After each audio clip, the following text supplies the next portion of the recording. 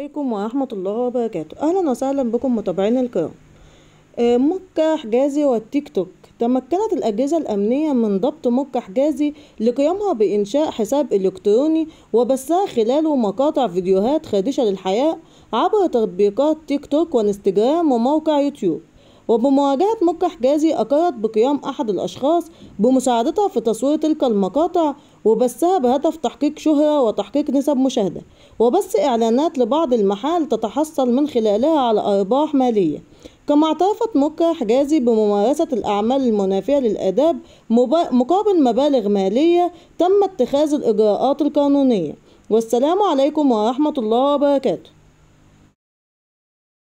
السلام عليكم. لا تنسوا الإعجاب بالفيديو والاشتراك في القناة. تشجيعا لنا لنستمر بنشر المزيد إن شاء الله.